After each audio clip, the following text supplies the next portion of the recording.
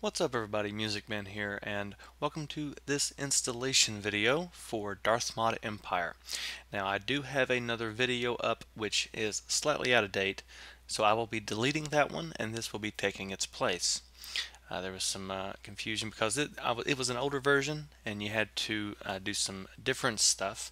So this is the brand new, or this is the most recent version, uh, 8.0 Platinum, and the patch as well. But I'm going to show you how to install these onto your computer uh, so it'll run. Now keep in mind that there are two ways of doing it. Uh, you have ModDB, part 1 and part 2, and I wouldn't really worry about any of these except for torrent. If you're like me and you want it as easy as possible with uh, without the two-part deal, uh, you can use uTorrent. Now the catch for downloading in one file is you have to actually create an account here with Total War Center, which I, if you haven't already, I would really recommend doing.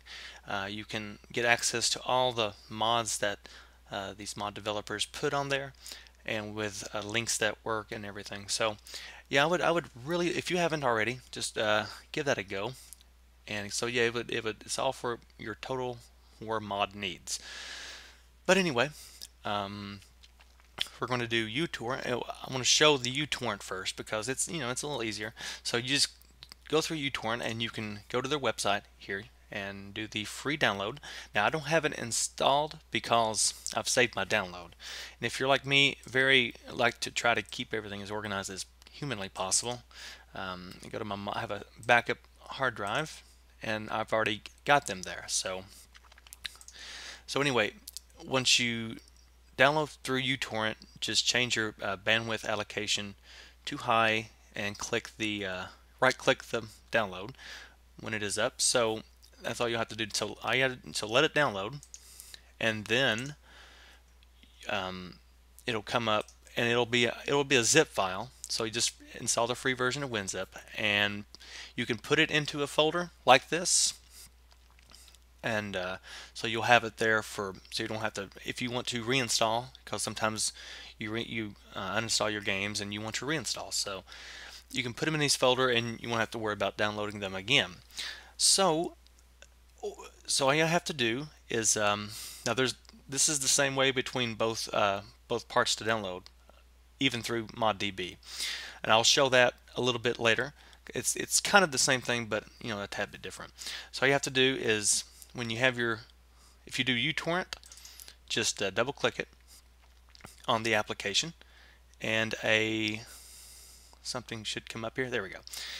And so if you're actually doing part one, this will be part one. But for me, it's the whole game because I installed through uTorrent.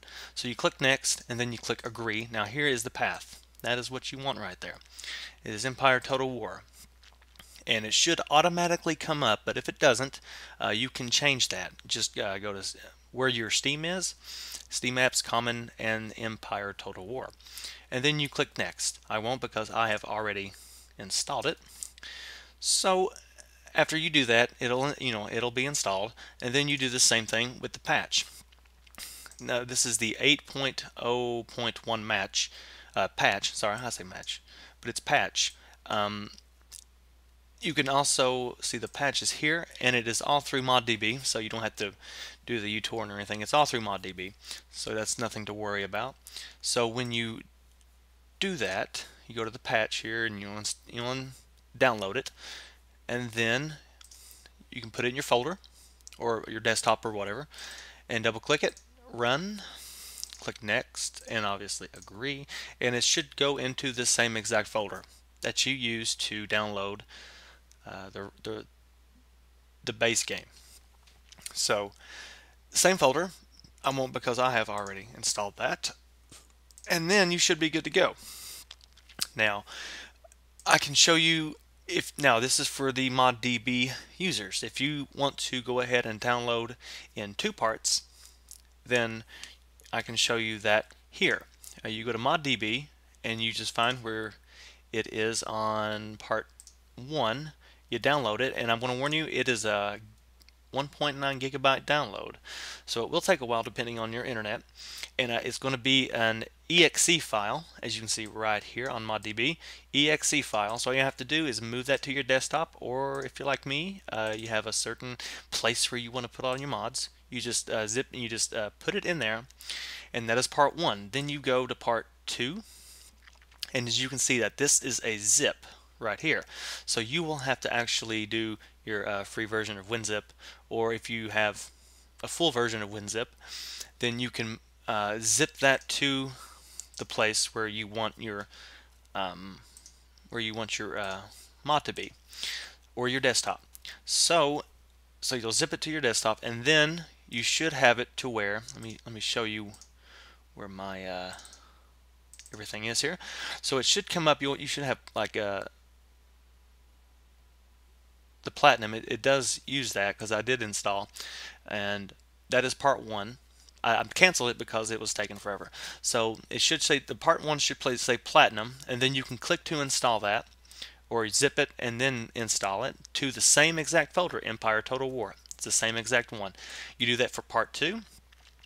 You download it, you install it to the same folder, Empire Total War, and then you do the same thing with the patch. And then that, that should be the uh, the way to install it in two parts if you're using just ModDB. So when you install it and you're ready to go, you click the desktop icon and it will give you this launcher. Now, I can't show you the real launcher on mine because it plays Don Giovanni and YouTube will have a fit. I do believe because they're going to claim it. so, um, yeah, that just like this will come up. And then you have options up here. And the they the actually the patch changes one of these options. I think it's in the settings. It actually shows you right here. Yeah in the settings auto start is off. That's what it changes in the patch and that's actually a good thing. So what because I'll explain here later when you get the uh, the launcher here you just all you got to do is just click campaigns. Another drop down will appear and then you'll actually see DME Ultimate late or uh, early or uprising campaign and you click which one whichever one you want and then you click start. Now here's the catch. Here's another catch. When you click start there's going to be another window that pops up to say, to say that uh, your, the game is ready and you'll have to launch it manually. Now that means that you will have to launch it of course through Steam because the uh, the first time you do do the launcher you do, do the launcher, it'll move files. So when you uh, are ready to play, that, that window will pop up and you'll be ready to go. So all you have to do is just launch Empire through your Steam. Now that should be about it and then the the Rebel banner or the Empire banner for, from Star Wars will will uh, pop up and say Darthmod Empire and you'll be ready to play. Now I'm going to try to do this without doing the the music. There you go. See right here. And then you do that and you launch it through Steam. Now when you exit, as you can see, you'll see DME ready or vanilla ready.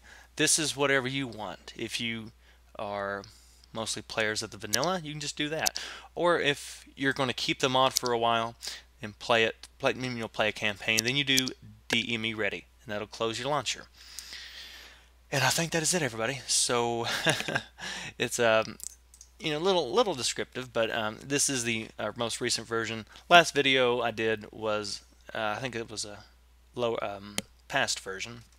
So then just make sure, Empire Total War folder for everything. And if you're doing it in two parts, do them in order: download, install, and then download, install the other part, and then the patch. But if you're using uTorrent, just uh, download it one go and install it through there and then get the patch. But the launcher, um, when you're ready to launch the game, it works the same way. So guys, I hope that you have enjoyed this uh, how to install video for Darthmod Empire and hope that you have many good campaigns. I know I have on my United States campaign and please go check that out. Uh, link will be in the description as well as the links to the download and uh, if if they're not working for some reason just let me know and I will refresh the uh, the links on there. So please remember to comment thumbs up and subscribe. And this is Musickman signing off. Thank you for watching